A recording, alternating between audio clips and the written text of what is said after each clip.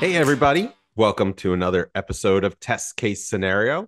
As always, I am your host, Jason Baum, and with me are Nikolay Advolodkin and Marcus Merrell, our uh, panelists. Thanks for being on, Nikolay and Marcus. You. And you might have noticed we have another guest today. And today, uh, uh, let me let me paint a picture for you first with this with this bio that I have written because I think it's very important that we always have a, a little intro here for our guests. Our special guest is someone who has taken the world of science communication by storm. Hailing from Dubai, formerly of Berlin, Germany, Hashem Al-Ghaili is not just a molecular biologist, but also a filmmaker, producer, and a visionary in the realm of science and technology with over 33 million followers on his Facebook page, Science Nature, and videos that have been viewed over 20 billion times. Hashem is a force to be reckoned with. And we are extremely lucky to have you on our show today. Thanks for joining us, Hashem. Thank you so much for having me. And with that intro, uh, well, first, how's the weather in Dubai? I feel like you every conversation always it's, has to start. Uh, it's pretty hot actually, hot. but but um, you know we're we're I think at the end of summer. It's mm-hmm. the first time that I moved here. I mean, it's just been like three months wow. since I moved. But they tell they tell me that uh, winter here is the best because the the temperature is now going down, and very soon it will be just moderate and amazing. Well, that's good. So I can wait. Yeah. Well, especially coming from Berlin, where I, I think it's never warm. Long usually. winters. yeah. You know, I mean, especially last year, it was the longest winter I've ever actually experienced in Germany. Mm. And I've lived there for over 10 years. Wow. So yeah. now you like moved to the opposite. Well, Hashem, with your expertise, um, we figured today would be a great idea to throw out the topic of AI. So, um, I think we could just throw it out with our first question. With your extensive background in science and um, communication, with those two things in mind, how do you perceive the rapid advancements of AI right now? Well, I mean, honestly, recently, I would say since the last year, with the uh, launch of ChatGPT, things have just been coming at an accelerated rate that we have never seen before. It's just incredible. Um, and it's advancing faster than we, we can catch up. Every day, new tools that we have never heard of, they just pop up out of nowhere. And the interesting thing is that a lot of them are based on models that are open source, which means people can come in and um, make their own modifications to these models and come up with even more tools. And this is this is like you know what we biologists call the tree of life, when it just keeps branching and branching and branching until you know you've got only one origin there. But all these tools that are open source and all these modifications that are happening are are leading to incredible at the same time it can be scary uh, advancement so uh, I'm, I'm curious to see where it's heading. What, what's your favorite thing that you've done with one of these generative AI so far? Honestly, I'd say Midjourney. I use it all the time to generate images, create mm-hmm. thumbnails for my videos, sometimes create concept art. I created uh, a short film with the help of AI. It's called The Last Stand. You can watch it mm-hmm. online. I don't know if you've seen it. Mm-hmm. Uh, and it was making yeah. rounds. Uh, it was published also on uh, some somebody posted it on Twitter and Elon Musk responded to it. Yeah. It's about alien race visiting Earth and at the same time it's based on the on- ongoing political conflicts on Earth. Yeah. And so I used AI to help with writing the script, to help with creating the concept art, and to also generate the voices. You know, uh, all the voices in that film are AI generated the voice cloning technology with AI is now incredibly scary. It's just human like. It just replicates exactly uh, the voice that you want at an instance. And I've seen that people are now starting to use it for extortion, for scamming, for a lot of things that we haven't predicted. But this is the thing you put a technology out there and you let people be creative. There are those who will use it for good and those who will use it for bad. It's so interesting that you say that because I literally got a text this morning from a good friend of mine who is a producer for a, a very well known show, has been on cable for a long time. Uh, and he texted me because they're very, they're extremely fearful of AI in the television yeah. industry. Obviously, they're on strike, um, and many are blaming AI. Um, he asked, "Can in a live broadcast, can I overdub a voice?" Which wow. is yeah, and I was like, not yet, at least that I know of, but I'm sure it's on its way. But but the overdub in not live is very good now, and it's funny because I feel like Lucasfilms is always ahead of the game, right? And yeah. years ago, they put out Rogue One. And in Rogue One, I, I believe that's the first one, right? Where they started to um, generate the image of like Carrie Fisher oh, yeah. at in the 70s and um and and Tarkin Moff Tarkin the same right. like yeah. and and like that guy's been passed away for years now yeah. but they got his voice they got her voice and yeah and their honestly, image yeah but if you compare even though rogue one mm-hmm. hasn't been a long time ago since it came out i think it's been like compare, 10 years or so uh, but if you Eight. compare the tick mm-hmm. how it has evolved since the last time yeah. it's incredible i think you've seen uh, the mandalorian Yes. Where they brought yeah, um, Luke. Luke Skywalker. yes. It's perfect. And they hired a guy from YouTube, you know, a guy who was uh, just making deep fakes on YouTube. They brought him in, they used his technique, they merged them with their own technique, and the result is phenomenal. Yeah. It's just incredible. Right. I, yeah. I remember when I was like one time browsing um, Fiverr, okay, which is a freelancing website, and people were offering gigs for deep fake. You know, I'll create any deep mm-hmm. fake within 24 hours. Like, what a time to be alive. of course, now if you go to Fiverr, you won't find these uh, gigs anymore because they, they are cracking down on that. But uh, yeah. come to a point where you just need to have a computer and you can I, just. I was a video. I, have been there. a video, I've been editing videos since since high school and before that, and I learned on analog set roll back five seconds on the tape and go oh my gosh it just kills yeah. me how easy it is now. Yeah. I uh, yeah. recently received uh, an email. I recently published a book yeah science fiction. Uh this is sorry for the free commercial in between no the, please yeah. go for it. This is why you're on here. Simulation the great escape. Yeah it's science fiction novel.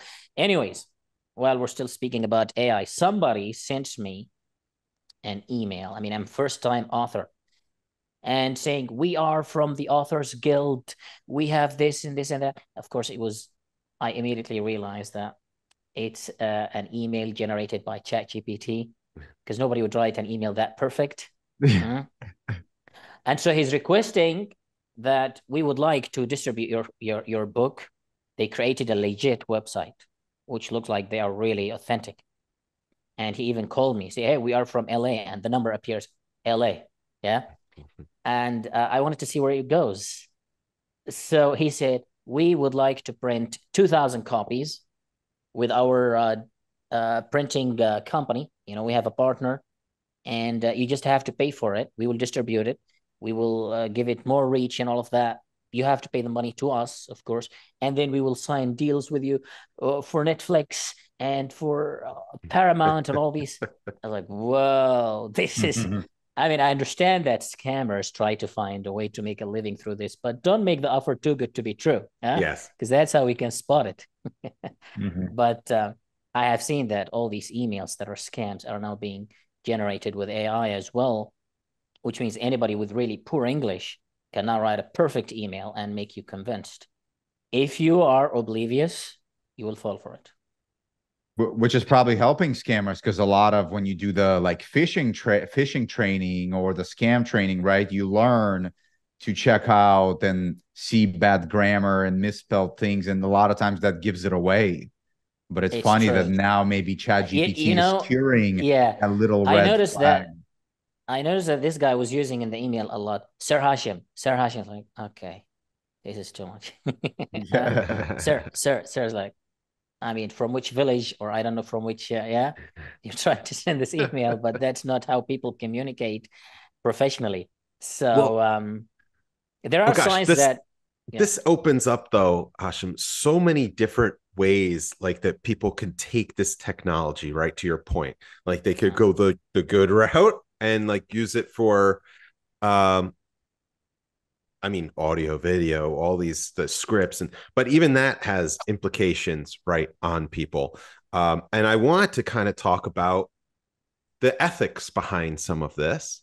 And I don't want to get into a whole ethics course or anything here, Mhm. but like when you take the image of someone who has been passed away for years and you are all of a sudden generating their image and their voice for all to consume or or something else i mean obviously the scams are not ethical but something like that which we could consider to be good use because right it was entertaining and boy it's cool to watch luke skywalker on my screen in a new show as if it was like 1977 but it's obviously not. So what are the uh, like how what Yeah. do you all think about that? Well, it's interesting because um, there was news just last week that James Earl Jones has sort of signed away his vocal His rights in perpetuity. His Mhm. voice can forever be used by AI to be Darth Vader. Peter Cushing did pro- probably did not sign such an agreement before he died in 1993 or 94. So, Also- so that's the thing. Yeah, recently Bruce Willis also signed up his Yeah. face. Oh, did he for, really? Yeah. Wow. So, Permanently. so when when they do that, you sort of get it. Now you kind of want, you wish they would get in the way and you know let people uh, let fresh blood come in, but um, but at the same time, if they do it voluntarily, willingly, understanding all the implications, uh, hopefully signing their heirs to be beneficiaries of of this use and, and the, the royalties and stuff like that, that seems like that's fine. It's just like I fully expect Marilyn Monroe to star across Marlon Brando in a drama before the end of my time, which will be Oscar winning and breathtaking in its scope. And that that's where I'm like, yeah, it's their estate doing it, and their estate is still cashing in on grandpa, grandma. Uh, you know, I, I I don't know. Marilyn Monroe didn't have kids, but, but I wanna hear know what- I mean. I want to hear what Nikolay has to say too, Yeah. and, then Hashem. But um, I I want to say, did anybody see that Black Mirror The episode, from the of season new six, yeah. season? Yes, This is it. This is is it. exactly it. It's exactly You're the same. Yeah. Yeah. Except that in in the episode they were signing up their rights without knowing um, the Right, right. ramifications. They didn't know they were in the other reality. Yeah. right, right. Yeah. Yeah, I feel like it's it's super interesting to me. What's interesting is what kind of movies or creations will now be produced as kind of as Marcus touched on. Like you get Marilyn Monroe teaming up with other individuals from history. With Tom Cruise, that huh? movie, yeah, like that look like super realistic. And it's like to some that may be really wonderful to see that kind of experience. Like for me, I I've never seen Marilyn Monroe in a movie except some like black and white snapshots here and there, or just some pictures of her. You know, so what would she be like in a movie? I've heard so many great things about her. You know, I'd love to see her in a movie. So But- it's very unique. Do you think mm-hmm. that's ethical? I mean, the thing is, there are actors who existed before this technology came, and you don't know. I mean, maybe they wouldn't approve of the script of that film. Yeah. They would say, you know, I would never have started Yeah. in something like this. I don't like the script. I don't like the story. I don't like the dialogue. It's as simple as that. Now, those who are doing it willingly and signing their rights off to somebody else, they know because they exist in this time, they know the technology is here and they know that it could be used for anything, basically. It could be a B film, even. Yeah. Uh, but they know. But those who have died already a long time ago, it's kind of tough. I would say this this this has to be discussed with their descendants, probably. Yeah.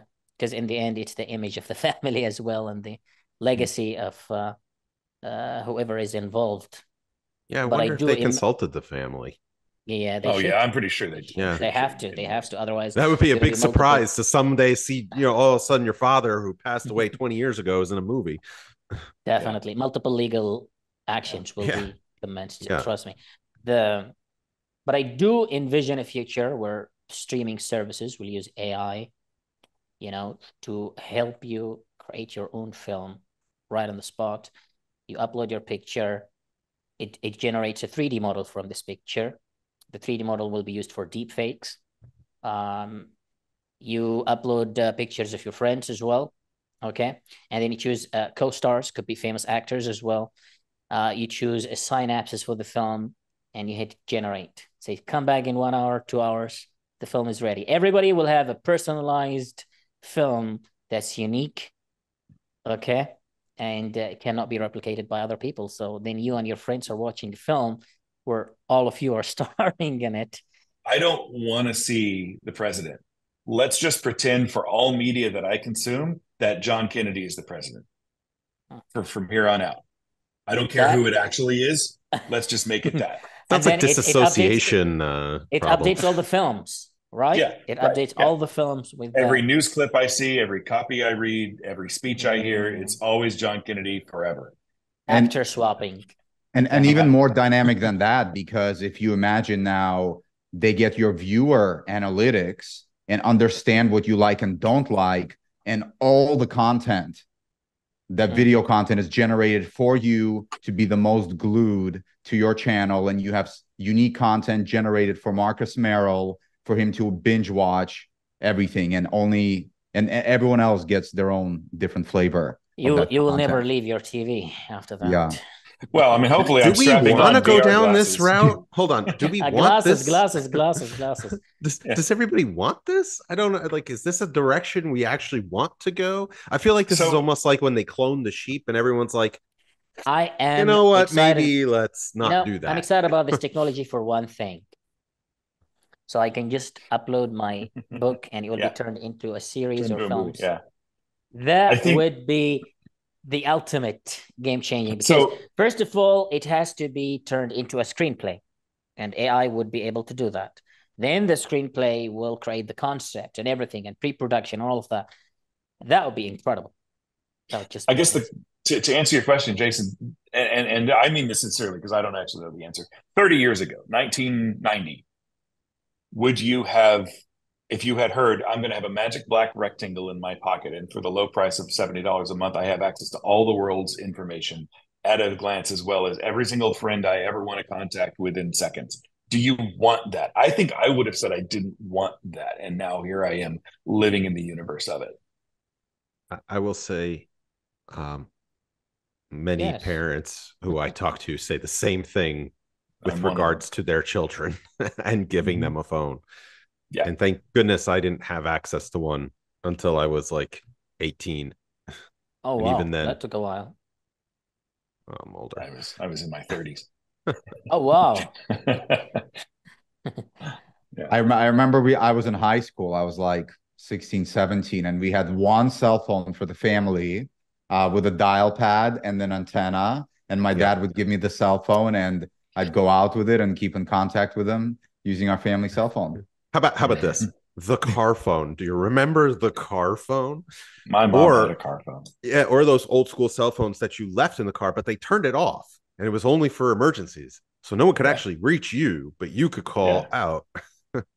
Bag phone. Yeah. Yeah. Okay. So on live with Regis and Kelly, I remember uh, watching a clip just recently where Regis turns to Kelly and they were supposed to debut the iPhone. And that was like a big deal. And he goes, Who would want that? That's not going to be a thing. it's like we already have the iPad or uh, whatever it was, the iPod. Why do we need why do we need a phone too? I have a phone. I said the same thing when the watch came out.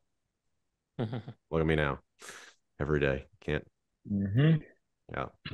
So, how do you think this is going to impact your field in terms of molecular biology? We're talking about content creation, influencing right. movies and entertainment, games. That's Um, where it always starts. But yeah, Yeah, yeah. Well, AI is very, very vital for molecular biology and biotechnology.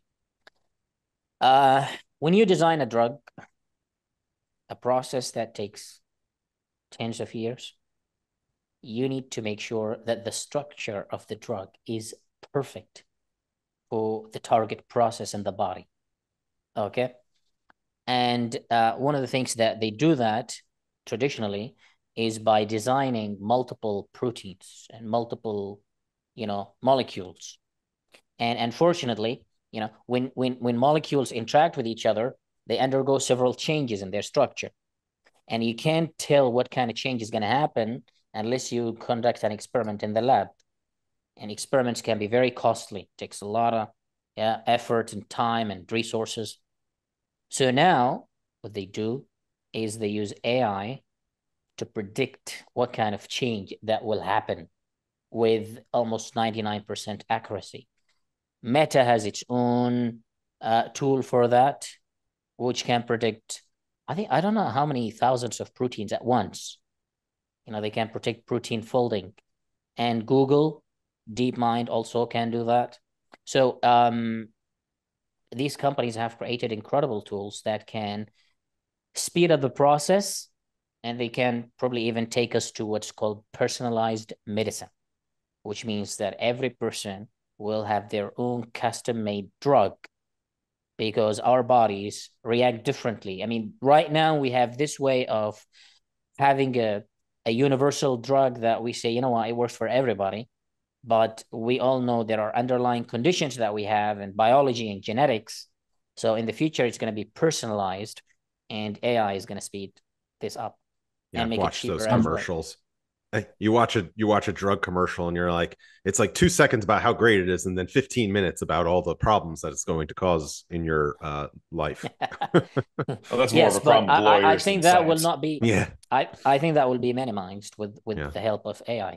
I mean that'd be huge. Also, um, one of the technologies that I'm uh, excited about is um, uh, genetic sequencing. You know, genome sequencing. Uh, the first human genome project, which started in 1990 and lasted for 13 years, ended in 2003 or something, to sequence one genome, and with the cost of 2.5 billion, can now be done with the cost of 1,000 within 24 hours with a tech that is just the size of a USB. You can plug it in your laptop. It's incredible. It's incredible how how far we have progressed with these technologies, and I'm excited to see AI being integrated into all of these. Forgive What- this question. I'm not a molecular biologist, but does this mean we're going to live forever? Forever. But like I feel like what you're saying is we're good. well, I mean, we're all uh, we're all in the age where we will see the first human to to probably go past 200 years. Wow. Yeah, definitely in our lifetime.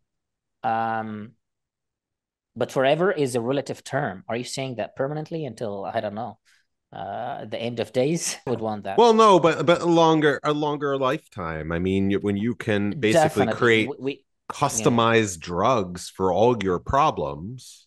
I mean, is this going to be the cure for cancer? I mean, that's the it's thing that's on everybody's customized mind. drugs. Customized drugs alone are not enough because Yeah, there's a The degradation of the body too, no? Yeah. Like your bones and your muscles and Have your you heard- And it's like, how do you replace all of that? Yeah.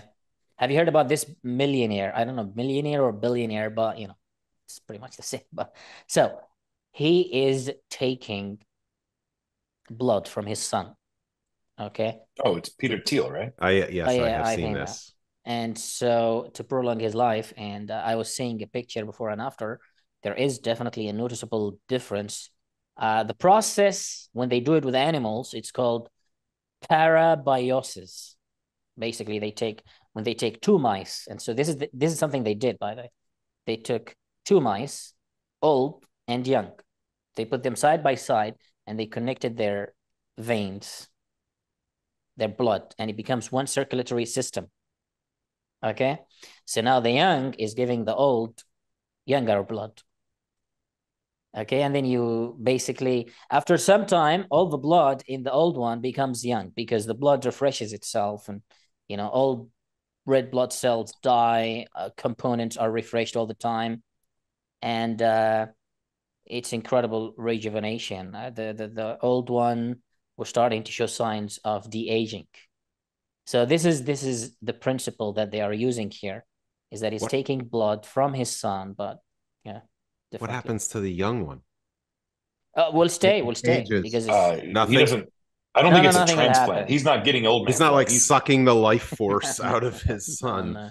No, No. not at all. Uh, Because okay. when you donate a blood, you know, your blood is replaced Right. every few days. So that's basically what happens. Wow. So Yeah. the young one stays young. It's not like the vampire films where uh, you see this. That's what I'm picturing in of the my head. Vampire mice. yeah, no, that's not how it goes. But it's, Yeah, it's, you it's know- incredible. You know what I heard through all of this, Hashem? You talking about the customized medicine per person is I hear, and a lot of things that we talk about is it sounds like the world is going to be a place where could be a place where everything is customized for every individual. Your whole experience is customized to you thanks to AI. You got customized drugs, customized videos, customized music, maybe even how you view people is, you know, AI, AI uh, augmented, and you got augmented reality, and basically everyone will just be living in their own world You know, that's made if you, just for them. I think it's a, it's a great concept. Have you seen that episode in Black Mirror also, where um I think they put a brain implant. It's always just start with a brain implant here, uh, and so uh, what happens is that you can use an iPad then to uh, blur the image of somebody you don't want to see. It's like blocking. Imagine in the future where AI is like, you know, you want to see your partner as somebody, huh? And then you just use the deepfake real time generation, or you want to see, um, you know, you you, you want to see some famous people as if they are part of your life, and you know you can customize that. Uh, you, you can have the same president that you We always can, we can put Barack Obama on top of Marcus right now. I endorse. No, but but I'm talking about real life. You know, like real life Yeah. when you're talking to them and you see them in front of you. Real and you never tell them who they who they actually look like to you. Uh, it's best not to tell them because that would be uh, insulting. I think. Yeah, Some of them. So Yeah. I'm in the community field, and this all sounds terrifying to me because to me, it sounds like the end of community. It sounds like we are no longer going to have communities. We will have our own insular, very small worlds. We're basically going to take the world and make it smaller. Hmm. If everything is customized to you and how you want it, Mm. then where is your diversity? Where is your, you know, it just becomes to society. yeah, it, I mean, I live in New York City. I can't imagine like blurring people. there are people, I guess, I who I would like to blur, but like, it, it- but I don't, and that's my you reality, and that's how we interact. And I, I feel like that's what makes us kind of unique is that there is so much diversity out there. Did you see that? Do you remember that? Um, or we could be the uh, the opposite. Do you do you remember that film, WALL-E? Yes, uh, where all of them are now in a station. They just Yeah. plugged in into their virtual reality and they're just doing nothing, just living there. Huh? Yep. will become the board. Or, or that film Surrogate. I don't know if you've seen Surrogate, where uh, all of them are connected to avatars that live outside, but they're just plugged that's kind of like seat. Ready Player One and all those other things. you know, Yeah. that's Yeah, Well, I think we're approaching that. I think we're there there that. is one um show that I want to ask you about because this you're kind of on this like we're sharing shows obviously you're a filmmaker but also like um I, I I'm trying to remember the name of it um but basically the premise is um it's a prime uh Amazon Prime show uh, and Oh it's yeah, I the- think I've seen. They just canceled it recently. Yeah, I- is the one that- where which happens in the UK where they put. Uh, No, well, no, uh, I don't know if it's in the UK. I actually think it's the US. No, this one is where after you pass, you have the option of being oh, upload. It's called upload. upload. And you have the option to upload yourself before you die. You can upload your conscious self to like the cloud, which of course this particular space is owned. So there are a bunch of businesses that have afterlife places where you can go and put yourself. And so like you could put yourself in like it's a server. Shady Acres, or you could put yourself in like the the you know rundown area where you don't have a lot of money, or you can. And it's a really interesting concept. And I'm like, this of all of those sci-fi ones almost feels like the most realistic Mm. because I feel like if they could capture whatever that self is, whatever that piece of the brain is, and then with Mhm. AI, now you almost can do it. Yeah. And that's how they do it. They generate I mean, like- they are working on it. It's called the uh, of course they are. Human Brain Connectome project, trying to decode the source of consciousness, where memories go, create a digital version of the person. But the question is, is it gonna be you, or is it really just a copy of you? Oh, I think It's it's gonna be really copy. It's gonna be It's a got it's got to be. Yeah. It's not gonna be you. You're dead. You're dead. That's it. Mm. Um, but your But, you know, you- surviving family members can Yeah. strap on a VR headset and talk to you. Here's what I think. You know, we all have left our fingerprints on social media. In the future, they're just going to gather the data from there and create an individual avatar, upload it to the cloud. It will be just like you based on your interest, your posts online, and all of that. Uh, but again, it's a copy. It's not Sci- sci-fi always seems to catch like real life always seems to catch up to sci-fi at some point. Yeah. And there was um I, I don't remember the movie, but uh where they oh no, this was another Black Mirror episode. Black Mirror is so good. My gosh, they're so on it. um they they the person passed away and they took the text messages and they basically created uh this like inter like person that would interact with them because they created this body and basically Yeah. had this the the text messages and all that fill the space the void that then became that person again because they had all their it was basically a big llm right uh in a body Yeah. um, and I feel like today we could probably do that. We, We could, could probably not the body part, but we could get everything else. Yeah. Yeah.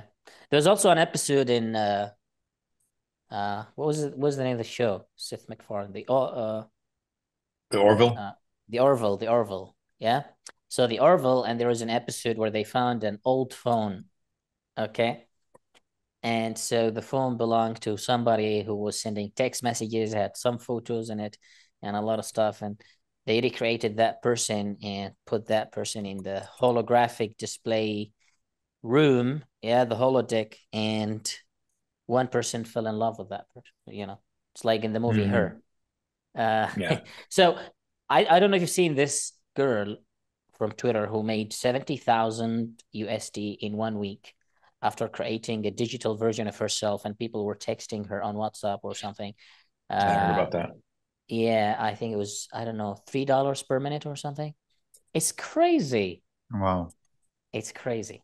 I, I saw I saw there was uh like an Instagram. We saw we saw this at the Polish conference. Um, there was an Instagram model that was fully AI generated based on I don't even know I don't even know who, but she has like millions of followers. And Oh yeah. Uh, last week it was announced that um, I think Universal licensed uh, licensed the voice of an AI generated character that has millions of followers online. Yeah. Who's the winner? Whoever created that character. So this is a great business model, and I think people who are resisting AI right now will fall behind. So we need to embrace it. We need to integrate it into our businesses, into our lives, because you can't resist. Yeah. It- it- let me ask a question to Marcus and, and Nikolay, specifically from a testing perspective. Does this scare you a bit? Because is this a, a question of like, because the integrity of these pieces, the quality of these things that are coming out, are do are people caring less about quality with some of these things coming out, or are they just so good Oh, you're asking me at the end of the episode, not the beginning. I don't know if we have enough time. I, I think sorry. that people, I think that people are forgiving of some glitches and flaws in the images and and uh, soundtracks right now. Like I feel like I can pretty much always spot deep fakes and stuff like that.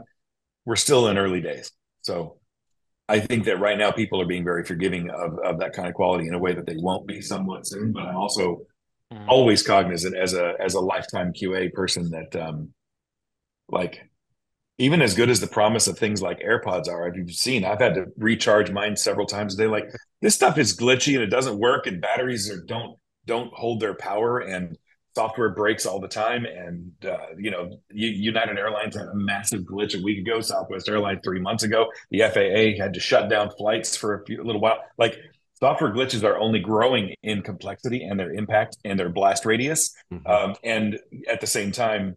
Uh, we are demanding more and more of software because you know everyone listening to this podcast right now has probably been pissed off in the last 24 hours about some app on their phone like we're we're living with it but the quality is not going to 100% and we all know it for now for now but like the our aspirations always exceed the reality of of the implementation right and and I, I don't know that our what we want is ever going to match what is available with 100% That's quality right. at the time. You know, I I was um I was reading someone asked a question on Reddit uh saying, "All right, now that AI is dominating, would you read books written by AI?" Uh, the comments had mixed reactions, but some people were like, look, if the story is great, it doesn't matter who wrote it. Yeah. Uh, or if, um, yeah, if they take care of all the elements that make a good story, then why not? Hmm. Now, right now, of course, it's really not even close. Yeah, there are still a lot of gaps that need to be filled, but it doesn't mean it's not going to get there. It will get there it will reach near perfection as much as a human does. Honestly, when I look at what Midjourney can create right now, incredible images that sometimes are in, very difficult to accomplish by no amount of artistry you have. And no matter how much people resist it, it's just amazing. So people will embrace it, people will accept it, and it will reach a stage of near perfection and it will be indistinguishable from anything we create. I I think I see your point of view, Marcus, in that to me, I think what you're trying to say was our capacity to generate software that we use and our ability to test that software, they're not growing at the same rates. Our capacity to generate software is growing drastically faster than our ability to make sure that the software is quality. And so there's more and more need for quality assurance, and there are more and more bugs over time in the world. And an interesting thought to me is, yeah, right now some of these bugs, some of these bugs are very catastrophic. A lot of times they just affect a company, uh, maybe an industry. AWS goes down. Numerous companies are affected. Money, but what happens when software is responsible for dropping a Boeing 747 and killing all the passengers in there? Oh, what happens when two airplanes collide or something of that kind of catastrophic disaster and now software is to blame and the engineers that wrote that software are to blame. That that is part is scary to me. I mean we're we're absolutely heading towards requiring the ai to help to test the ai i. Mean we have to have we have to have that ai testing to keep ai up. that's right. We're, we're going to have to. I'm already doing it. I have chat gpt open all the time and it's helping me test software that I'm that I'm helping to create. So it's already we're already getting there. When, when people tell you that we're going to get to a point where we don't need software developers because AI is now making it easier to write a code, do you think we're going to get there soon? How soon? Um, I, I think that personally, I, would love to hear Nikolay's take, but I'll, I'll keep this real quick. I think that we're heading to the point where there will always need to be, a, I think we're always going to need a human hand on the rudder, but I think that we're going to need fewer of them. I think that's, I'm, I'm not sure. I'm convinced that we're going to replace the human within, uh, I'm going to say 20 years, but I really feel like I want to say 10. Um, but in in some cases they can be replaced right now and we're kind of seeing it all over the place so what next then yeah but yeah nikolay please I'm sorry, yeah, I'm just I, taking over. I, I, have a lot of questions because the topic is yeah. uh, is very interesting. Oh, it's great. It's great. I wish we had more time, and, and we'll yeah. probably have to invite you back. Mm-hmm. Anytime. Yeah, Marcus, I was gonna say I I I think I agree with you. I see now instead of engineering teams working together to achieve a goal, I see one engineer managing a team of bots to achieve that same goal more efficiently, faster, with higher quality. I mean, just as an example, I've used Chat GPT 3 or 3.5, the, the old one, for the last week. I think I've spent five hours on a project and I've gotten farther along than I would have in the past running a team of four or five people. Wow. Just on a little Amazing. side project. Yeah. Just and it's just me with me with a with a, a three year old generative model that doesn't even have the most updated access to documentation. It's not the new one. Yeah. Yeah. But again, that's, I always ask myself, what's next? When all of these people have no jobs to do, what are they going to do with their lives? Mm-hmm. How are mm-hmm. they going to make income? Okay. Yeah. And yeah. they they will they will shovel coal to power the AI. They're going to become prompt engineers. well, yeah, I mean, it's true. The new jobs are always created when new jobs go obsolete. Yep. It's yeah. I, I, hope I hope you're right. I, I it, it, it really brings up questions of uh, UBI, universal basic yeah. income, and stuff yeah. like that. Yeah, I'm not yeah. not ready to top top tackle that today, but yeah, major major impacts, and not just on this industry, on a whole bunch of industries. Uh, Hashem, thanks so much for joining us. Thank you, Marcus. Thank you, Nikolay. And thank you for listening. This was an awesome episode. Uh, we are 100% going to have to have uh, Hashem back, and we are going to get into some more ethics and, and science and technology because this stuff is fascinating. Um, and please, we would love to hear from you uh, and your take. Community dash hub at saucelabs.com. Send us an email. I am Jason Baum, and this is Test Case Scenario. We'll see you next time. Take care.